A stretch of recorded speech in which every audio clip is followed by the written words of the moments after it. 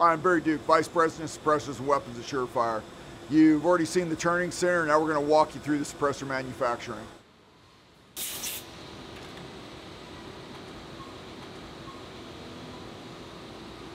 So all the parts uh, laser welded. Even in this case, we got our different adapters coming out. They're precision clean. This is heat, detergent, ultrasonic, all in one machine. So the parts come out with no impurities on them. We've got some, some of our heat treat ovens here uh, going through. We try to do everything in-house so we can control the quality and give you the best possible part. The adapters, when they're going through uh, deburr, we've automated the deburr with computer controlled unit. That gives us consistent parts quality coming out of the machine every time. Next up is the welding of the suppressor inner core. We switched over from a manual welding process a few years ago to laser. And what we're able to do with that is more than double our strength and just light years better on consistency because it's a really precise computer controlled process. Start out with parts, uh, parts fixtured up in a line. They go into the welder. You can watch the thing working. We have uh, precision laser welds and when I first looked at these, we started exploring the technology a number of years ago, I was going, man, how can this weld be strong? We did a series of pull tests, lab experiments, and turned out we were double the strength we were with the manual weld. And then if you notice, the part isn't all heat saturated, and that helps keep the part straight for the welding process or for the manufacturing process. And the welds are sequenced in order to uh, avoid warping. Uh, and overall, just a much more advanced process. You'll notice going through, every suppressor has got little barcode tags with it. What that's doing is actually uh, linking which operator did which operation on which machine, which which series of parts, and it gives us full traceability back for the utmost in quality. So up next, we're gonna head around to the other side and parts are gonna come through here. They'll come out the wall on the other end and we'll go into uh, the next manufacturing process. Right here, the suppressors have gone into a straightening cell and they'll look at the suppressor, put it on a precision fixture that mounts it like it is on the weapon. If for any reason that it came out out of true, they'll actually, they won't straighten it mechanically. They'll actually apply heat to it and straighten the metal without ever actually laying a hand on it. Then after that, we come out here to the tube welding process. The core has been laser welded. Uh, now he's going to take the inner assembly, which has been straightness checked. He's going to press the tube onto the inner assembly of the suppressor and then move on to laser welding. So here, the outer tube's getting laser welded on at the front and the rear of the tube. So the one su suppressor will be the prior suppressor is allowed to cool. That's where he just switched out to a different suppressor and he's going to re recheck straightness, all focused on the bore of the suppressor, mounted the same way it is when it goes on the weapon. Next, we're gonna go into the EDM machining process. These suppressors, even after these two welds, and if, point out again, there's not uh, heat discoloration on this because the lasers are so effective. They, they put heat only where it's needed. This suppressor, the last one came out, you know, 2000s TIR, you know, out of, out of perfect after two different welding processes but we still take and put it in the EDM and what we're going to be doing with the EDM machine is mounting it just like it is when it's on the weapon and we're going to cut through and it's going to lightly uh, kiss the inside of the bore and open it up to a precise spec. And the EDM machine it's an electrically charged wire so as it cuts if you look at this thing it looks like a fish tank. Everything's underwater during the cutting process and this wire is flowing through and that wire is cutting a perfect circle inside the suppressor. Very precise machining process. As you know, we have multiple EDM machines, or what you can see here. That's because anytime we have a slower operation, we double it or triple it in order to keep the line flowing in a consistent pattern. Up next is our paint robot. What you have here is a robot that will take the uh, suppressors off of the table put them in, automatically bead blast them, and puts them in and automatically paints them. And you might ask, why do we automate the bead blast station? And reason being, that's one of the first things I did, even back when we were manually painting suppressors. I automated it because I didn't want somebody sitting there, you know, hung over on a Thursday morning, Friday morning, because they went out and tied one on during the week, and they blast a thin spot in the side of the tube, and the first guy that finds out about it's a soldier downrange that, you know, has a thin spot in his suppressor that fails him. So by automating the process, we went from, you know, more of a manual automated one to a complete robot, computer controlled. We can control exactly how much blast goes on the tube, so there's no chance of a thin spot being blast in it. Blasting is required to get a proper finish and get to adhere. Uh, after it blasts, the robot takes it over and it's painted with Cerakote by the robot and then put on a drying rack to dry. I'm Dennis Redgowski and I'm the Suppressor and Weapons Division Operations Director. Quality checks through the manufacturing process, like I said, we do it at every step. So we check the total indicated run out um, at stack and load, so we know where it's at. We put it within spec. We'll put it on the welder. We'll weld it. We'll check the indicated run out, and we track all of this. We do our scientific data collection a lot different than other companies. When I first came on board, setting up the, the initial processes for manufacturing, coming from the aerospace industry, my background was doing a lot of uh, process controls and minimizing variability.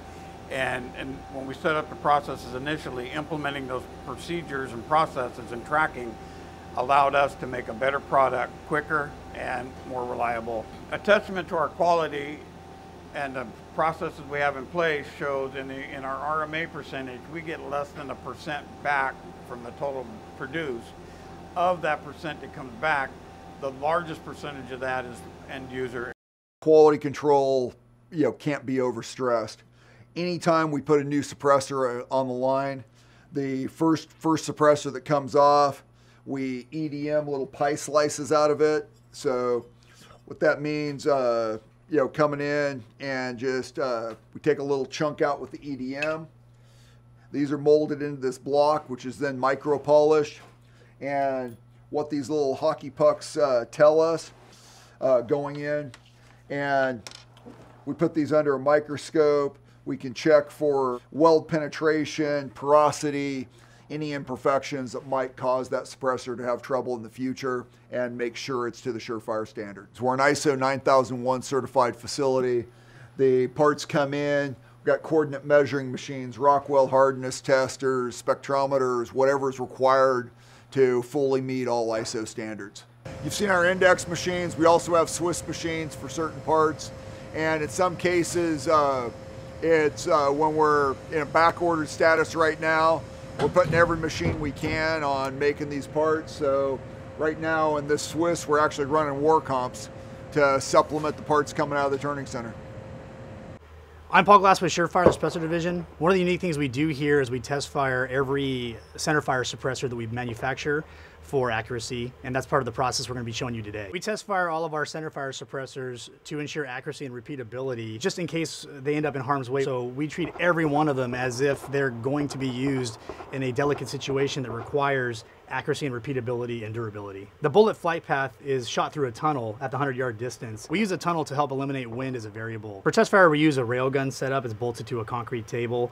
We use BAT actions and uh, extremely heavy durable barrels and all that is done to basically eliminate the variables of a human shooting the suppressor for accuracy. We want to know what that suppressor can do. So we try to eliminate those variables that we can. Our accuracy standard is 1 MOA. So what we're testing out here is to verify that every suppressor manufactured meets or exceeds that, that accuracy standard. What we do is baseline the unsuppressed weapon system for the computer, and then we start to roll into running the process of testing the suppressors against that baseline system. What we're testing is accuracy and repeatability. The accuracy portion to make sure that our group sizes are under 1 MOA, which is roughly an inch at 100 yards. Basically basically what that means is suppressor can be removed and reattached and our point of impact doesn't move beyond what it was originally. We start the process by baselining the unsuppressed barrel and once we have that, we start running into the suppressors themselves, using them on the same barrel and checking for the shift, POI shift distance and the accuracy compared to that of the unsuppressed weapon system. We shoot a three round group through every suppressor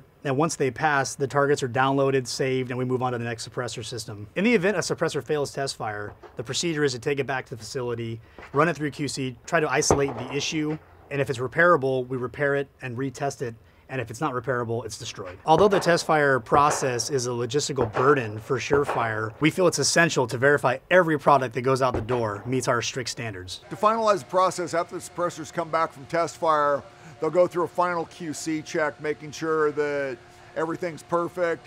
Then they'll go through a packaging process and get put in a sealed box that's stored with an RFID tag uh, in the vaults, ready for going out as soon as ATF tells us we can.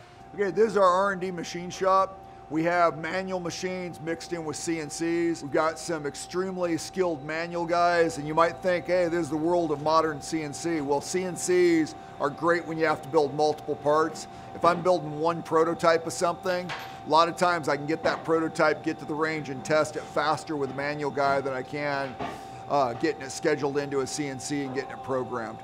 You know, tooling, special tooling needs to be ordered, things of that nature. So in this shop, we got machines building special parts for different prototype suppressors and adapters that we're currently in development on. And one of the things that you'll notice as we start going through is this R&D shop has more capability than a lot of people's manufacturing floors.